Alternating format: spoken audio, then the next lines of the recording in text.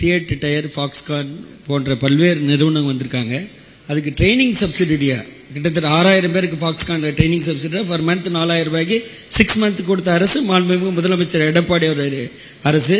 அதில் CI tyre கம்பெனியில் கூட கிட்டத்தட்ட வடமாடியிலலாம் வரல. நம்ம ஆளுங்களுக்கே ட்ரைனிங் கொடுக்க சொல்லி ஐநூறுரூவாய்க்கு ட்ரைனிங் சப்சிடி அவங்களுக்கு மாதத்துக்கு ஆறாயிரம் ரூபாய் கொடுக்கறதுக்கு மாண்புமிகு முதலமைச்சர் உத்தரவு போட்டிருக்காங்க.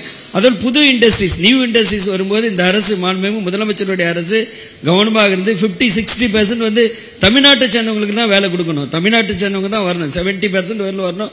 மினிமம் சிக்ஸ்டி பர்சன்ட் மேலே இருக்கணுன்ற ஒரு உத்தரவு போட்டு அந்த உத்தரவை நெறிமுறையாக கடைபிடித்து குளோபல் இன்வெஸ்டர்ஸ் மீட்டில் கூட நடந்த அத்தனை நிறுவனத்திலையும் இப்போ ஜிம் டூ தௌசண்ட் நைன்டீன் ஜிம் டூ தௌசண்ட் ஃபிஃப்டீன் போன்ற அத்தனை இண்டஸ்ட்ரீஸ்க்கு நாங்கள் எம்என்சி கம்பெனிக்கெலாம் அந்த மாதிரி உத்தரவு போட்ட அரசு மாண்புமிகு முதலமைச்சருடைய அரசு என்பதை மாண்புமிகு பேரவைத் தலைவர் வாயில மாண்புமிகு உறுப்பினர்கள் தெரிவித்துக் கொள்ளும்